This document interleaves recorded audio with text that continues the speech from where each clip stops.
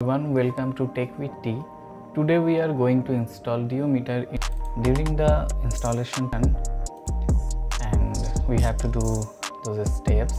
Uh, now it will uh, finish the installation and we can see some uh, pop-up.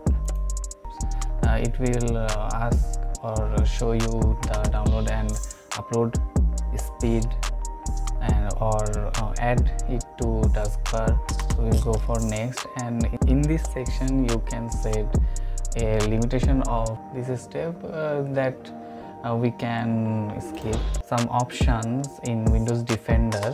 So we can go windows defender. Windows defender we can go virus and threat protection.